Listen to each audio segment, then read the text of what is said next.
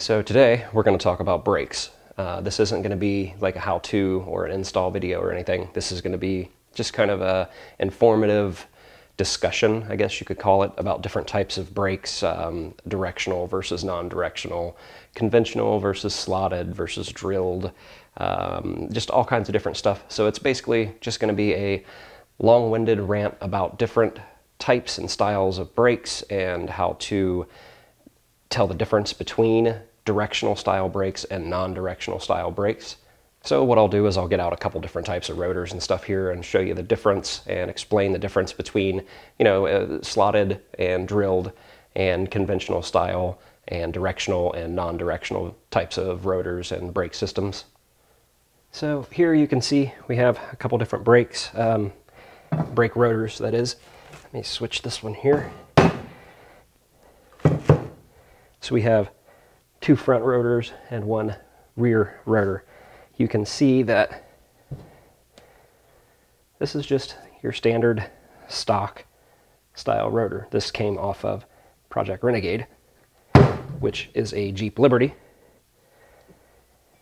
And these are what's going to be going on to Project Renegade. And you can see that they are cross-drilled and slotted. They're the same height and everything, same size, just uh, they have this black coating and they're slotted and drilled. And these are the brakes for the rear. And they match the front. What I want to show you, you can see in here, or if I can do this without blinding the camera, you can see that you have these vanes or cooling fins inside here.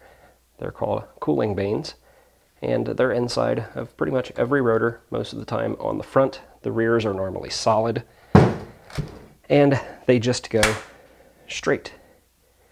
Like, well, this is an old rotor, so maybe I can make some marks here that you can see.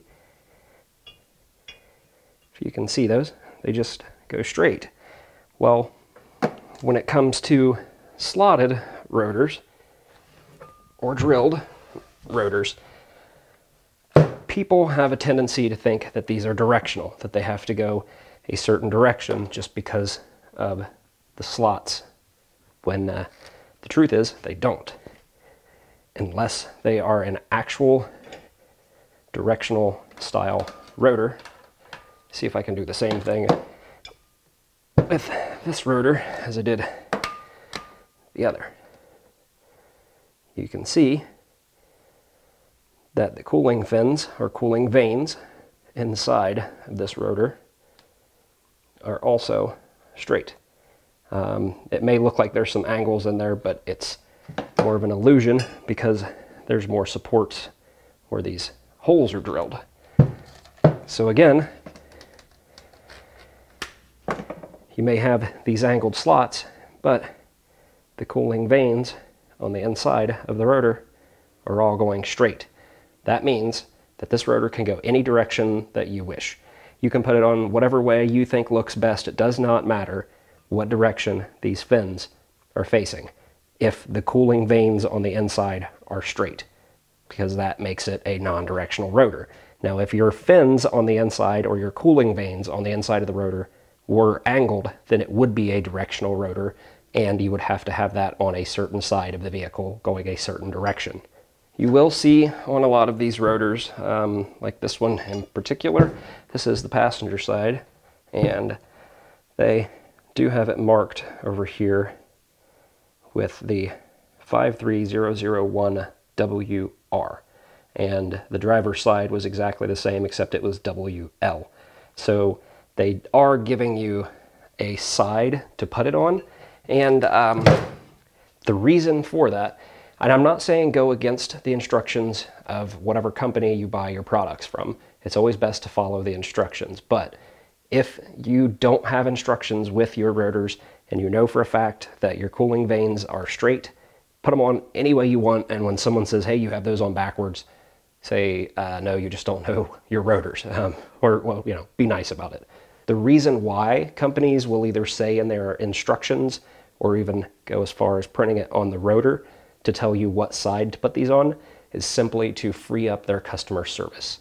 I have spoke with uh, TeraFlex, the company that manufactures these, and asked all of them if they are actually a directional style rotor, if there was something else I was missing, and they said no. Um, they said that they put those on, both this company and TeraFlex had the same answer.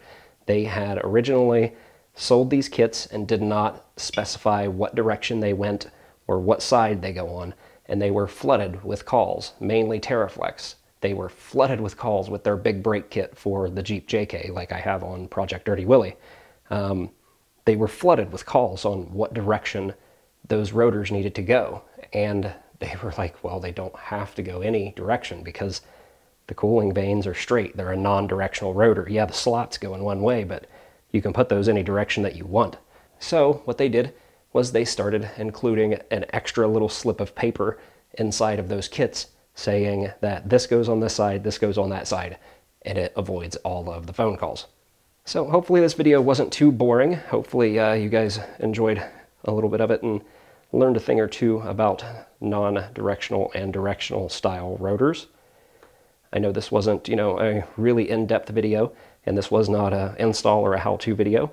If you came across this and you were looking for a how-to video on how to install your brakes, I've already done that. Uh, check that out on my channel, or I'll leave a link to it, or put an annotation somewhere for it, so you can actually get to the video that you were looking for. So sorry if you came across this one and you were looking for a how-to video.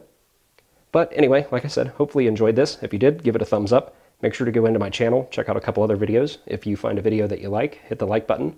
If you have something to say, leave it down in the comments. And if you find a couple videos that you like, don't forget to subscribe to my channel.